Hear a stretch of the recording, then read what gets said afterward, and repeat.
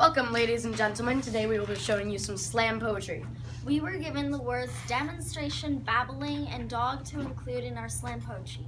First, I will read you my poem, and then Farn will read you his. I am standing in the middle of an arena, the crowd babbling. I can't think, my mind is a blur. The demonstration before me was amazing. I can't compete. I'm left there on the stage like a lost dog. The audience babbling, the dogs barking, the beast growling. How shall I defeat him? How shall I entertain them? To create this demonstration.